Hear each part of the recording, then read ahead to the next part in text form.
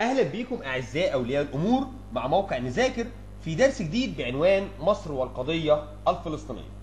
قضية فلسطين فلسطين من الدول اللي ليها أهمية خاصة عن دول العالم كلها. بتتميز مجموعة حاجات. إيه هي أهمية فلسطين؟ يوجد في فلسطين المسجد الأقصى وأسرى إليها النبي محمد صلى الله عليه وسلم وولد فيها النبي عيسى عليه السلام ونشأت الحركة الصهيونية اللي أسسها هرتزل في مدينة لندن.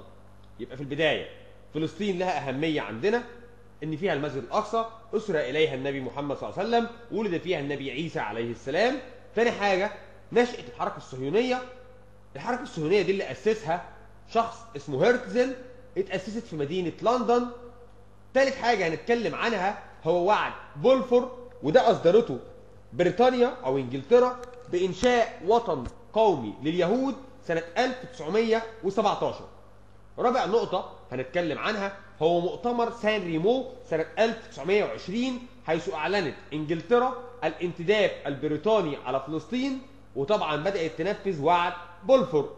رابع نقطة هي ثورة الحاج أمين الحسيني سنة 1936 ميلادية. وبعد كده اتقسمت فلسطين سنة 1947 هنتكلم كمان في النهاردة عن الحروب بين إسرائيل والعرب.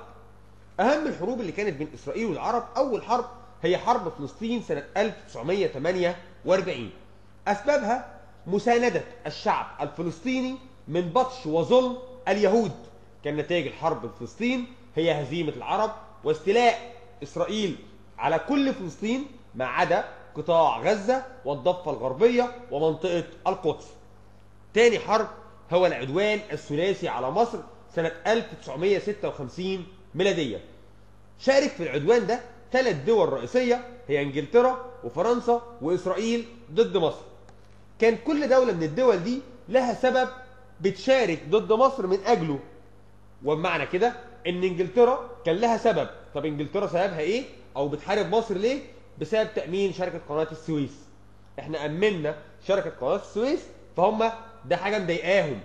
تاني حاجة مساندة مصر للثورة الجزائرية وده السبب اللي كان مدخل فرنسا. فرنسا كانت زعلانة إن إحنا بنساند الجزائر.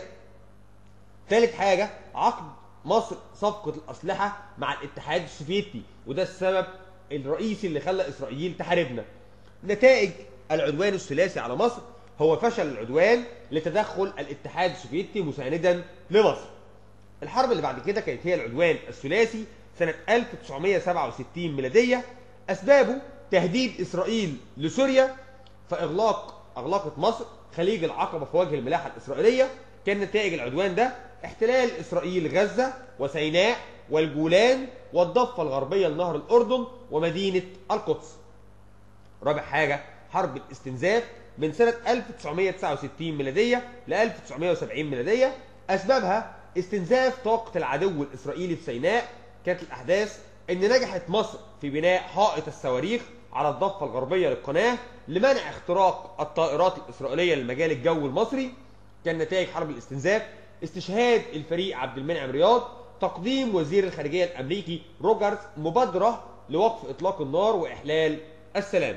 عبد المنعم رياض هو أحد أبطال حرب الاستنزاف وكان رئيس أركان حرب القوات المسلحة وأحد الأعمدة الرئيسية اللي اعتمد عليها الرئيس الراحل جمال عبد الناصر في تنظيم القوات المسلحة في حرب الاستنزاف.